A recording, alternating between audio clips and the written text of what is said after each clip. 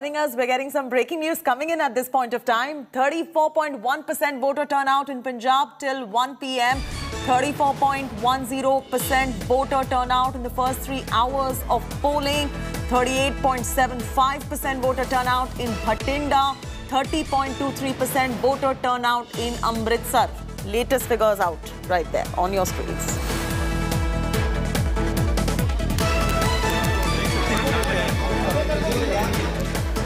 Big breaking news coming in 34.10% voter turnout in Punjab. This till 1 pm, till about an hour ago. 34.10% voter turnout in first five hours of polling.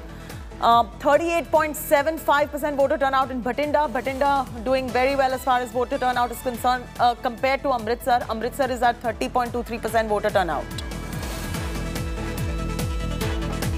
Manjeet Sehgal now joins us for the latest. Manjeet, uh, how would you rate these figures? 38.75% voter turnout in Bhatinda till 1 pm and overall 34.10% voter turnout. Compared to the last election, uh, how would you rate this particular figure?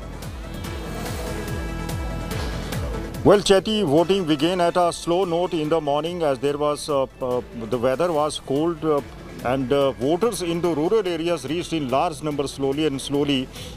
Uh, the uh, average voting till 2 p.m. is 34% and Fazilka has 41% which is highest among all the districts and overall in the entire Malwa belt the voting percentage is higher as compared to Doaba and uh, Majha regions.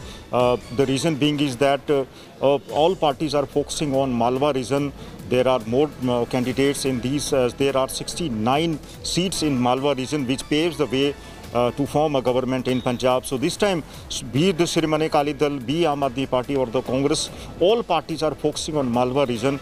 Uh, if they are able to win more seats in Malwa region, they will be able to form the government. Uh, last time, uh, Akali Dal uh, had lost nearly 10% of its vote share in Malwa region.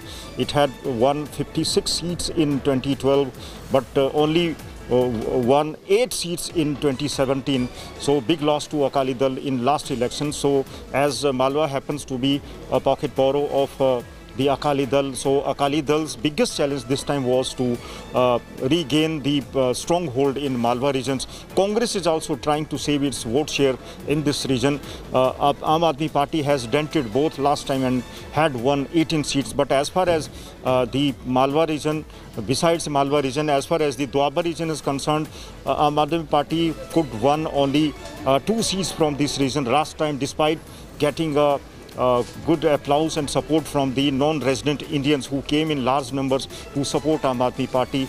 But Aam Party could not win even a single seat last time from Majha region, which uh, from where uh, the uh, senior leaders like uh, the, the, Akali Dal senior leaders like Bikram Majithia and All right.